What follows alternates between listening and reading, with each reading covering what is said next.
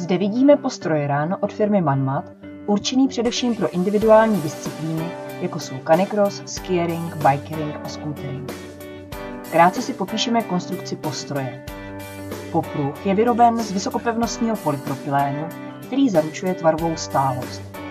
Polstrování postroje je z prodyšné funkční tkaniny, která vytváří komfortní prostředí pro psa.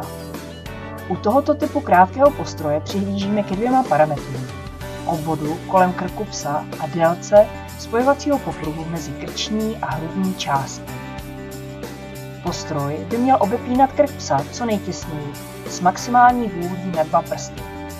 Musíme si totiž ujasnit, že každá nadbytečná vůle v oblasti krku způsobuje přetáčení postroje a tím i vydírání srsti, hlavně v podpaždí. Délka spojovacího popruhu mezi krční a hrudní částí musí být dostatečná, aby hrudní nastavitelný popruh nebyl v kontaktu s podpaždím psa.